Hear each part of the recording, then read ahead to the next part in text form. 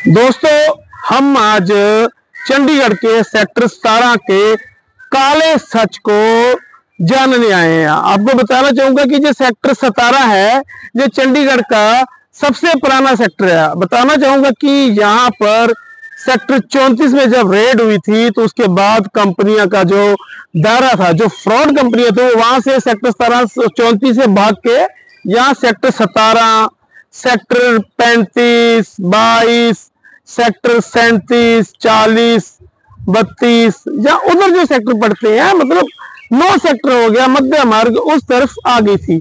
मैं आपको तस्वीरें दिखाना चाहूँगा। देखो ये नीलम थिएटर के पीछे की तस्वीरें हैं। देखो ये बड़ी बड़ी इमारतें दिखाई देंगी आपको। पीछे भी घूम के देखो आपको बड़े बड़े शोरूम दिखाई देंगे।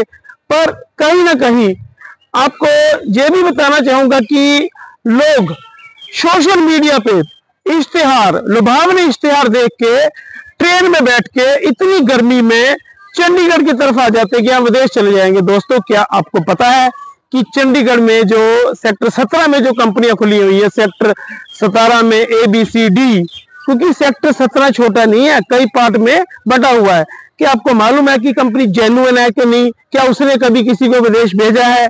अब यूरोप कनाडा में सख्ती होने के बाद यूरोप में या लग्जमबर्ग में या किसी और कंट्रियों में भी वीजे खोलने की बात कही जा रही है। पर हर कंट्री आपको यूरोप नहीं बेच पाएगी। हमें पता है 50 परसेंट कंपनियाँ ही आपको विदेश का वीज़ा दिलवा सकती है। बाकी सब कंपनियाँ आपके साथ फ्रॉड कर रही है। प्लीज़ मेरी रिक्वेस्ट है पहले तो सोशल मीडिया पे जो इश्तेहार देखते हैं तो उसके एक स्क्रीनशॉट ले लीजिए। और एक अहम बात है, पूरा वीडियो नहीं देखते, मेरी बात सुनिए।